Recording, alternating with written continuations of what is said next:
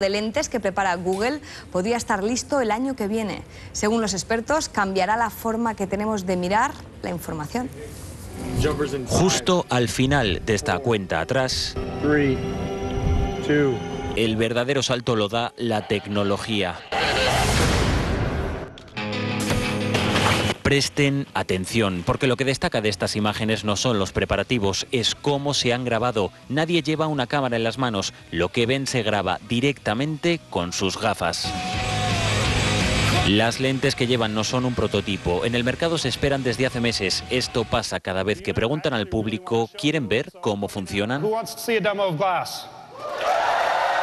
Une lo mejor del teléfono, el ordenador o las cámaras. La pantalla en alta definición muestra la temperatura o nuestra agenda y tocando la varilla enviaremos mensajes o vídeos. Nuestra vista será la de quienes estén lejos y permite compartir cada momento con la voz. Busca y dime cuál fue el resultado del partido de ayer. Y en plena entrevista las gafas responden.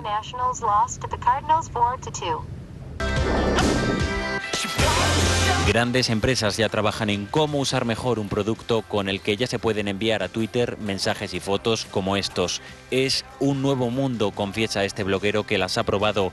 La pregunta ya no es cuándo, en 2014, sino cuánto costará ver ese nuevo mundo a través de estas gafas. Causó